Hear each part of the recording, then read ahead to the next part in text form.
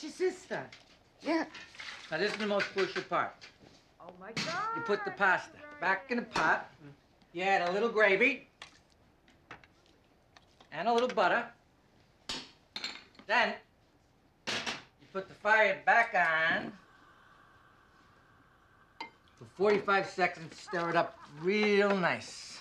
45 seconds? Yeah, that way the macaroni absorbs the gravy instead of just coats it. This is for flavor. I need a favor. What? I need a piece. I mean, I don't need one, but, you know. Mm. How much I owe you for it? Get out of here. Your money's no good. Macaroni's ready!